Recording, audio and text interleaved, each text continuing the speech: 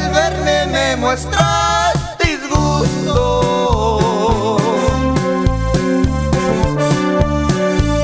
Y mi presencia te produce enfado.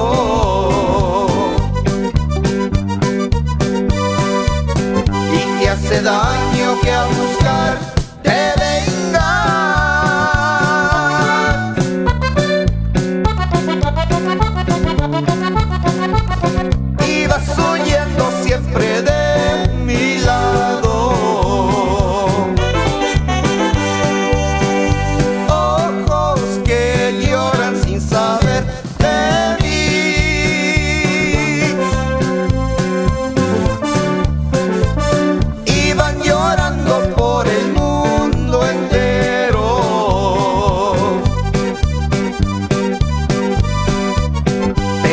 en cambio de nuestras detenes.